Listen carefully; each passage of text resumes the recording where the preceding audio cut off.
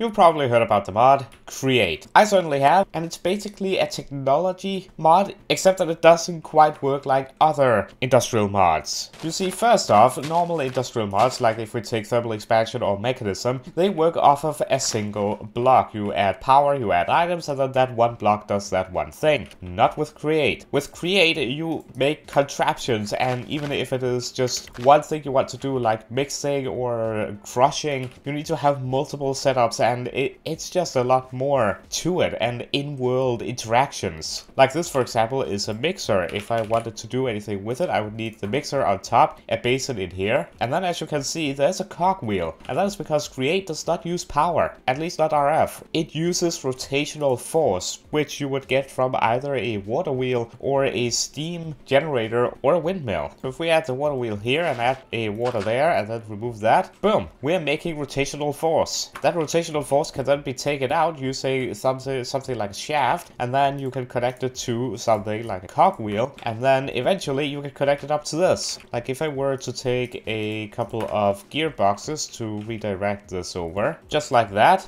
it is now running the mixer, however at a very slow pace. But that's another thing, usually you just have Redstone Flux or RF and then that's it, but with Create you have two different things to think about. You have SU, which is stress units, but you, then you also have the speed. So as you can see here, we have a speed of 8 RPM, and if we take the stress stressometer, we are uh, have a remaining of 224 SU because this is taking up 32 SU at this current speed. And then if you want to increase the amount amount of VSU we are actually producing, we can go ahead and add a, another water wheel. If I just get another water bucket, if I could spell, that would also help uh, a little bit. And just like that, we have increased our SU. However, not the speed. Another way of generating SU instead of water wheels is, for example, a wind turbine. However, also extremely slow. And here comes the really, really fun part, which I really, really love. And that is the cog wheels. You have two different kinds. We have a big one, and then we have a small one. And here here comes the magic. If you take this, well, actually, if we take the speedometer real quick and take a look at this, we're running at 8 RPM. However, if we take the large cogwheel and then combine a small cogwheel and then check the speed of that, we're now at 16. And if we just went ahead and did something like this and then added a large cogwheel to that and then another small one, you will see that we have increased again to 32. And if we then took that and let it over to this thing, you will see that it is now spinning a lot faster. This is essentially Create, and I just saw the calls.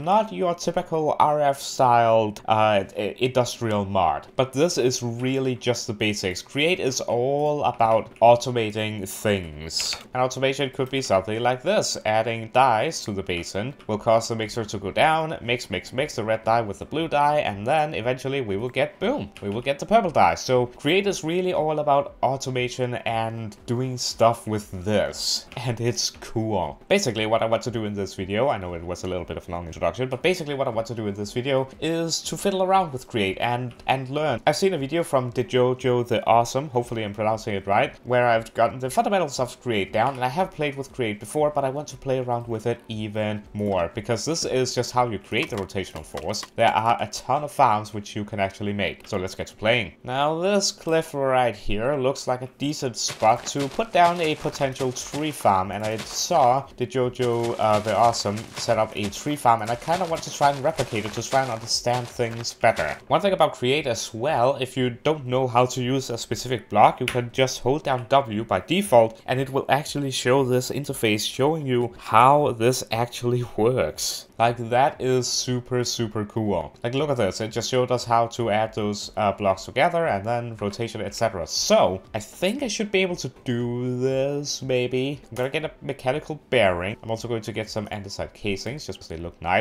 And I want to make a tree farm again. So I want mechanical saws and I want deployer. I also want a chest and I think I'm going to be needing some glue and there should be a creative, yes, creative motor just so we can actually do things without having to set up a water wheel. So creative motor, mechanical bearing, and then I should basically be able to start working with this. Just like that, it is rotating. Cool. So if I just add some things like this, essentially right-clicking this is not working, but I believe believe that is because we need to glue this entire thing together. And now this thing is basically moving. And yeah, this could be a fun mini game. I don't know what this will do to me if I was this wild, but I'm in creative, so I'm, I'm immune. So this should basically chop this should basically chop down any of the trees in the way. And we would want to actually place down saplings afterwards. So that would be from that. And again, we need to actually glue this together again. And I believe this should work. Nope, it is not because I missed a fundamental part of gluing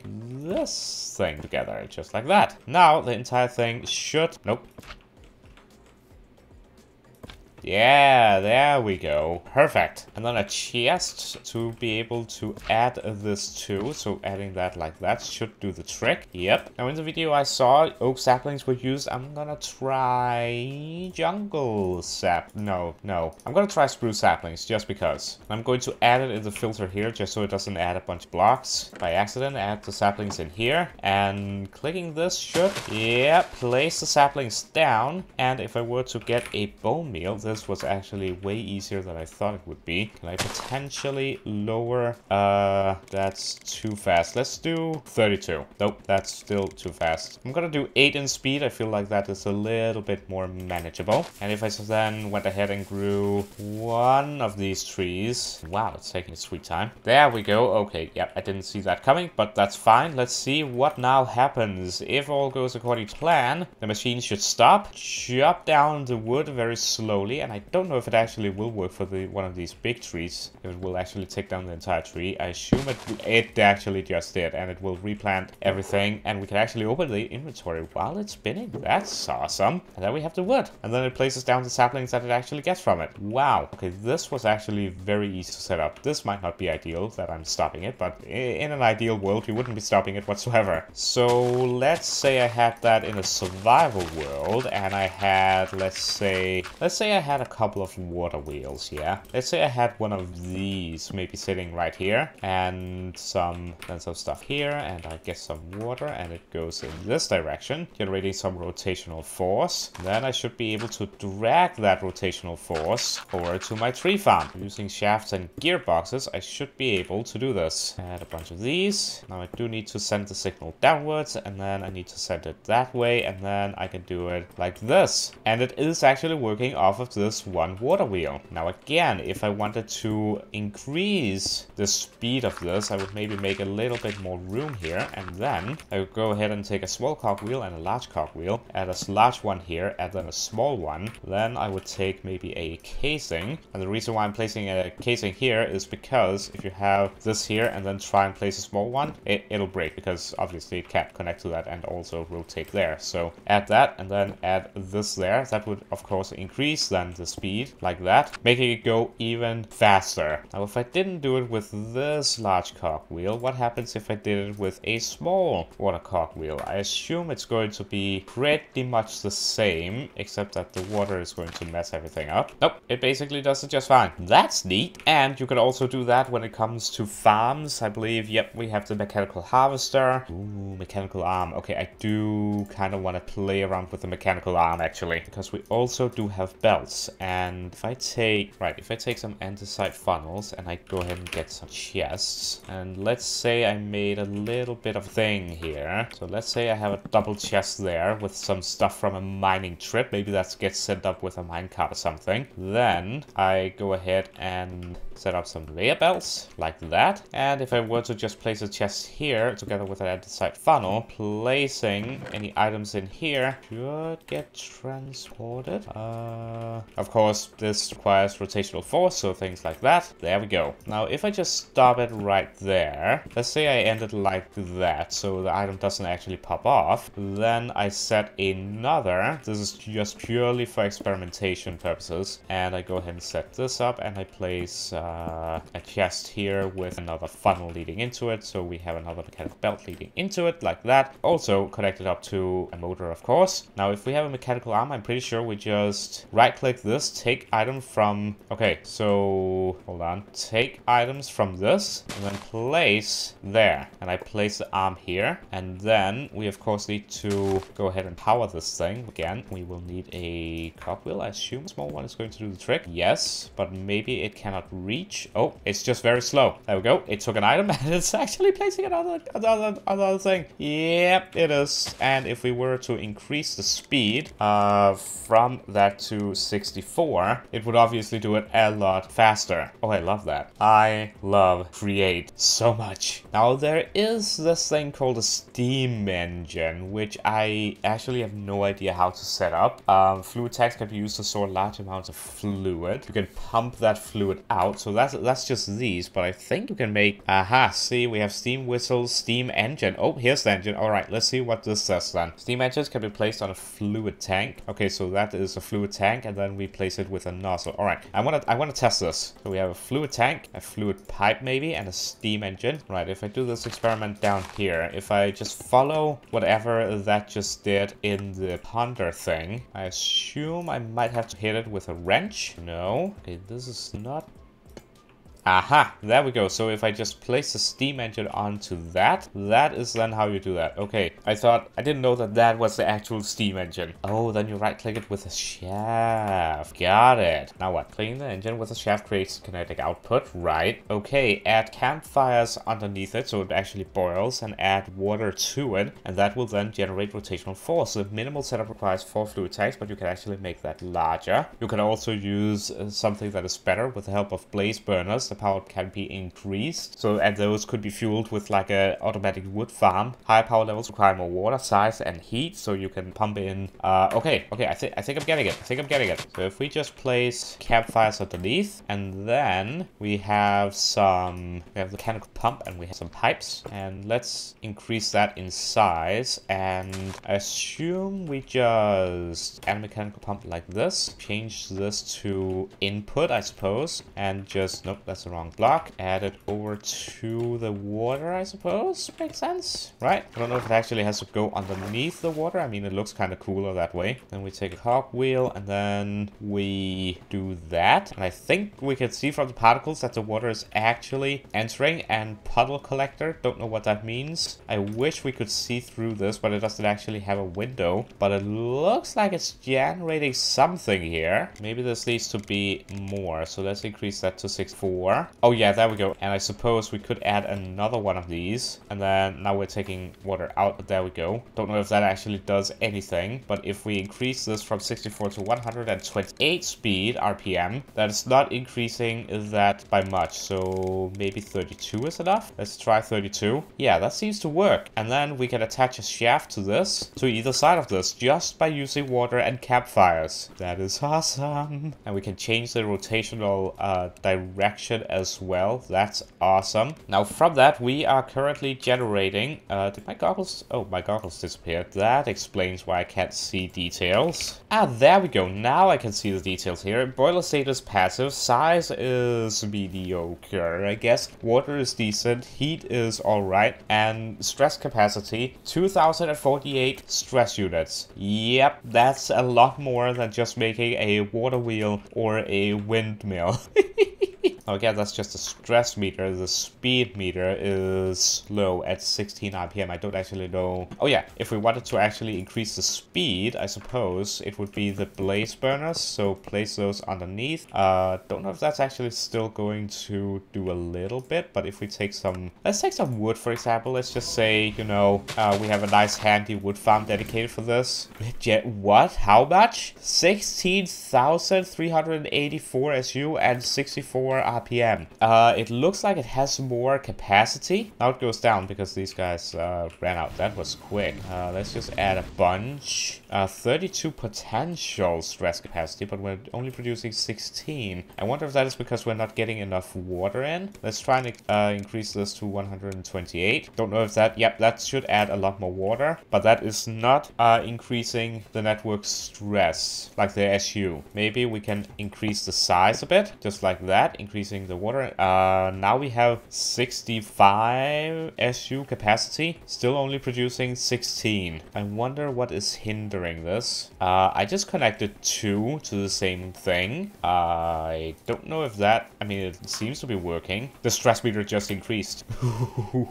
uh, does that mean I could potentially, like, uh, I don't know if this is doable. Does this seem to be? Then what happens if I do this? Hold on. I believe there is a block where I can combine chain drive, I think. So the speedometer is 16. The stress meter is currently 2000. But as soon as these places get something better to do than sleeping, goes up and we got the 65 SU. So we wouldn't be able to add another engine to this, but using these right here, it is basically connecting all of the rotational force out of those four into this one thing right here. And then of course from there you can power all sorts of stuff. Like we could just increase this out a bunch, uh, add a couple of cogwheels in here every now and then, uh, if we wanted to, like something like this. And we could add different machines to it, like the encased fan, for example. That is something that we could potentially power. We could set up a mechanical mixer, for example. We could also set up a, a mechanical press, all of which, of course, require rotational force. So if we add that, this is now running, consuming 300 and 84. This be running the mixer. Can I give it whole blocks? I don't know if that actually like lasts longer. Technically it should, right? I mean, we're currently running this, also running this, and then we could add this as well just by just by doing some gearboxes real quick just to make it easier. And so now, yeah, we're using like maybe a thousand uh, SU. If I disconnect this, we're currently at 64, 640. Remove this and we basically go up. So that's basically how you can power a lot of machinery and the speed is decent. Not bad.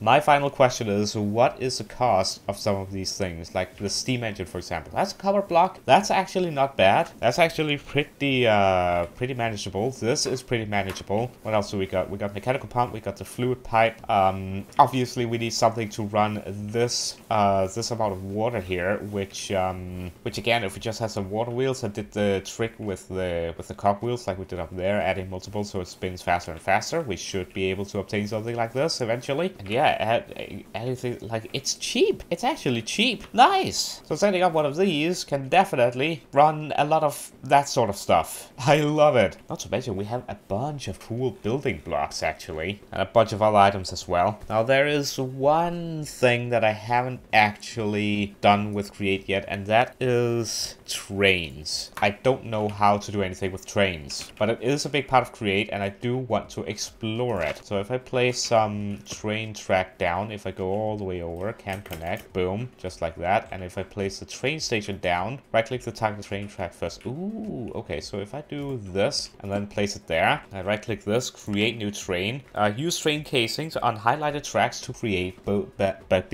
something. Remove blah, blah, blah, by breaking the block on top. Build carriages attached to one another. Close window. Uh, okay. Train casing. If I right, eh? Right click again to cycle type. Whoa. Okay. Now what? Um, can I potentially can't? Ooh, but I can build out of it though. So say I wanted to. Okay, how expensive are these? These has to be expensive, right? Sturdy sheet. Okay, yeah, that takes a little bit of uh, of stuff, but that's fine. That's fine. Um, right. I'm pretty sure there's a seat somewhere. Train signal. So apparently with the signal, you can go ahead and control trains that are not uh, driven by you directly. So you can schedule and stuff. That's awesome. Train controls. That sounds like something that we definitely need. Yeah, train controls. Okay, so train controls. And we also want, I assume, a seat. Uh, let's go with light blue. So if we add train controls here, I guess, and a blue seat. Let, let's uh, let, let's add some structure to this. Let's add some structure to this. Um, let's go with tinted. No, let's go with black stained glass, just because I think it'll fit the the theme we're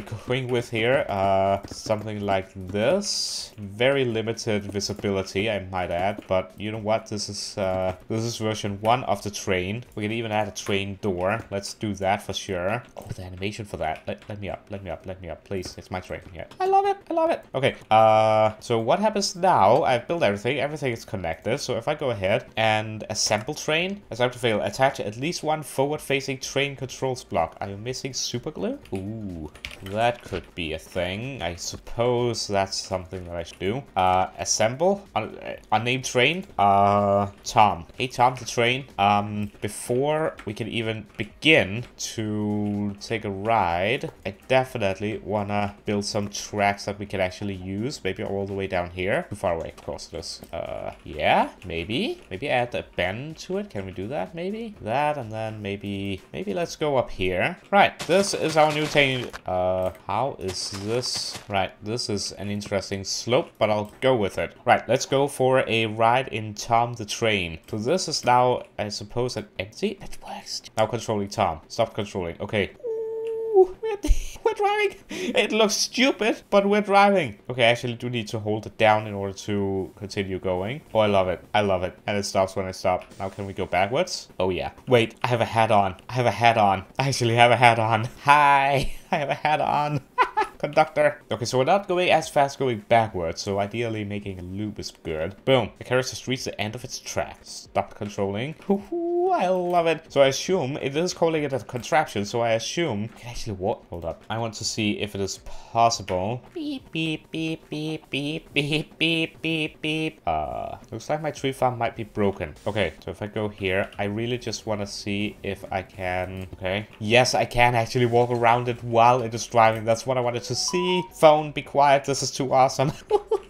Love this. I love this so much. So as this is a contraption, I assume you could add a bunch of other stuff to it, like the drills, the saws if you wanted to, the placers, maybe even a, a steam. I don't know if you can add a steam engine to it, but I mean, still, this is absolutely amazing. Like chests and stuff, you can transport items. That's actually one thing I didn't add to the actual tree farm. That would be this portable storage interface. With this, you should be able, if I've understood it correctly, to have an inventory like this, and then add this, and then to the other side, and then when they connect or pass each other, it will stop the machine like over there and it will connect and then it will take away items from the onboard inventory. And I assume, yeah, we're missing a block there to actually cut that off. That's fortunate. But guys, I think I've learned enough. I, I've learned a lot. I've learned a lot through this, actually. I hope it has been entertaining and enjoyable, and maybe you learned something as well, watching me learn stuff as well. I, I don't know. But I definitely learned a lot about Create just by playing around with it, but definitely big thanks to DeJojo the Awesome for uh, the video that I watched. I'll link it down below in the description because he gave a very, very good understanding of the basics of Create, and he has a bunch of cool farms as well over there, so check it out. But yeah, I learned a lot uh, from watching that and from just playing around, and I'm I, I want to play more with Create. More with Create coming soon, for sure. So if you don't want to miss that, be sure to subscribe and enable those notifications. Also, join my Discord server, link down below in the description, as a post gets sent every time that I upload. But like I said, that's gonna be it for this one. Hope you enjoyed. If you did, be sure to leave a like. Again, subscribe if you're new, and uh, I hope to see you in the next one. Have a wonderful day, and until next time, goodbye. I, I love this thing. I love this steam. It's, it's, it's animation. Cool, it's cool. But the train, the train, I want to do stuff with trains. The cool thing is, the stuff is not expensive. It's not expensive. It's it's affordable. It, I I can afford this stuff. It's easy. It's easy. Okay, maybe maybe this is a little bit expensive, but it's fine. Popular Obsidian. Oh dear, crushes. Yeah, it's it, it's fine. It's affordable. It's fun. It's cool. I love it. See you next time. Have a wonderful day. Bye bye.